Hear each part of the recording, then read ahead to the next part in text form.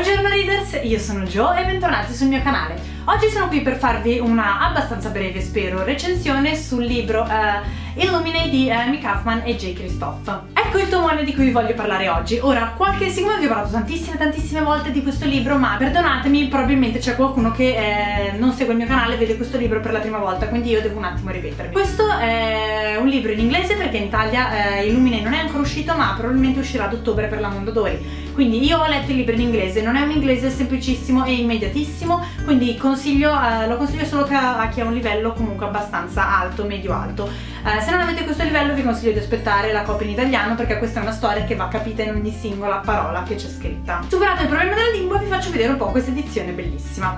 Allora, l'edizione è fatta eh, in questo modo, vi faccio vedere anche l'interno perché è un'edizione che vale assolutamente la pena di essere vista. La cosa speciale di questo libro è che non ha una narrazione ordinaria, ma tutti i fatti sono narrati attraverso uh, dei file, email, instant messaging, uh, dei, mh, dei reportage dei file della sorveglianza, uh, dei file medici che si scambiano i nostri protagonisti per l'intera durata del romanzo.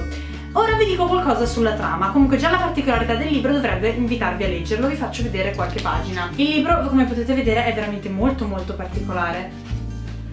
Alcune pagine sono anche scritte in modo veramente assurdo. Ci sono anche pagine bianche, giuro. Comunque ora vi dico qualcosa sulla trama. Eh, il libro si apre in media stress. Eh, noi ci troviamo, sul, ci troviamo in un futuro molto molto lontano e nello specifico sul pianeta Kerenza IV. Uh, questo pianeta, subito all'inizio del libro, eh, subisce un attacco pseudoterrorista da una corporazione chiamata Baytech, eh, il quale comincia appunto a bombardare il pianeta sul quale si trovano i nostri due protagonisti, che sono due adolescenti, eh, Cady Grant ed Ezra Mason, che tra l'altro si sono appena lasciati il che, piccola parentesi, secondo me rende molto molto molto autentica tutta la loro storia all'interno del libro. A trarre in salvo la popolazione di Cherenza arrivano tre navi spaziali. Non so se si può dire navi spaziali perché io non sono proprio un'esperta del gergo, però stazioni spaziali, spaziali secondo me sono una cosa che staziona in un punto preciso, quindi non si muove, quindi ho pensato di chiamarle navi spaziali, spero che si chiamino navi spaziali, che sono Alexander, Ipatia e Copernicus. I superstiti di questo attacco vengono smistati su queste appunto tre navi, navi che partono subito per scappare dalla Lincoln, invece la nave della della Vitec che le insegue per eliminarle, per non far uh, diciamo fuoriuscire la notizia che ha attaccato il pianeta di Cherenza. Quindi questa è la situazione iniziale. Ovviamente Cady e Ezra vengono smistati su due navi diverse. Ezra finisce sull'Alexander mentre Cady finisce su Ipatia. Questa è la nostra situazione iniziale però le complicazioni stanno solo per arrivare perché questo libro ha una complicazione dopo l'altra. Una che vi posso subito spoilerare perché c'è scritto anche nella trama del libro è che eh, subito dopo, nella, mh, mm, subito diciamo nella prima metà del libro si scopre che un virus letale, eh, sempre lanciato dalla Baytech durante il suo attacco, si sta sviluppando all'interno della nave Copernicus e che la sua popolazione sta incominciando ad ammalarsi e diciamo che questo virus mi ha ricordato molto The Walking Dead, cioè come diventano le persone dopo che hanno preso questo virus, veramente inquietante perché ci sono delle descrizioni che ti fanno accapponare la pelle, eh, sta diventando una situazione comunque di eh, non sono morti ma non sono vivi e con l'inizio vengono messi in quarantena, poi vabbè vedrete come si risolve il problema. Ora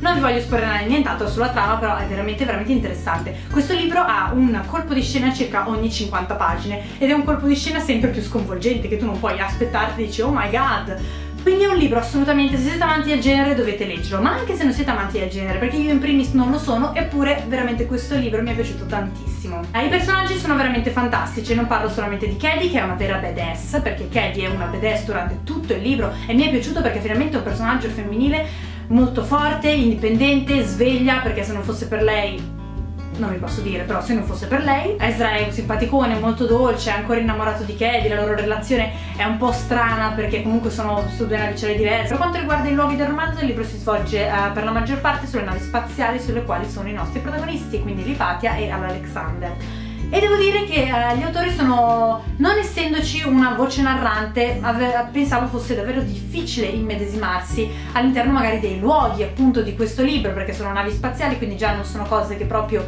eh, diciamo io mastico ogni giorno e in più non c'è un narratore che me le racconti. Però devo dire che questo meccanismo senza narratore eh, permette proprio di vivere in prima persona al lettore tutto quello che sta succedendo come se fosse nel libro. È veramente veramente coinvolgente. È una trovata geniale. Noi entriamo in contatto con tutto quello cui entrano in contatto i nostri protagonisti nello stesso momento in cui ne entrano in contatto loro. Quindi secondo io ho trovato veramente un'idea geniale. Sapete che poi a me i libri così piacciono Tra l'altro uno dei colpi di scena, vi posso giusto annunciare qualcosa, è che da metà del romanzo avremo un, diciamo, terzo, possiamo chiamarlo protagonista del nostro racconto che vi dico già è stato il mio personaggio preferito.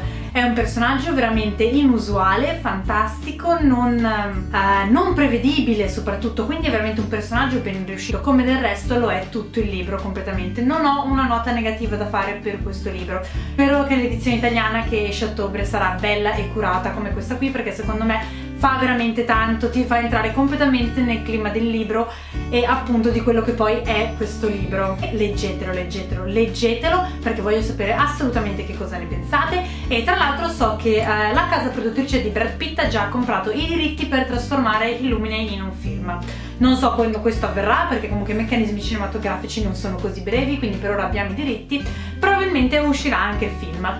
Uh, comunque veramente non posso fare altro che consigliarvelo spassionatamente perché è veramente un bellissimo libro. Benissimo, la mia recensione lampo di Illuminate è finita qui, non volevo dirvi troppo ma non volevo dirvi troppo poco. Eh, voglio assolutamente sapere nei commenti se avete letto il libro, intendete leggerlo, i vostri pareri, perché veramente ho bisogno di parlarne con qualcuno purtroppo non ci sono così tante persone che lo hanno letto uh, qui nella book community italiana con cui mh, mm, parlare un po' di Illuminate. Se il video vi è piaciuto lasciatemi un pollice in su che come sempre è molto molto apprezzato, se volete iscrivetevi al canale e ci vediamo nel prossimo video.